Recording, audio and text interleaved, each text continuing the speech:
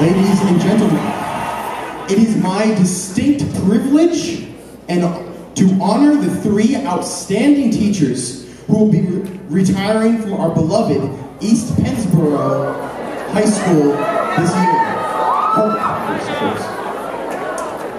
I am also thrilled to announce our special guest performer, you saw a hint of her there, a huge catch for Pennsboro.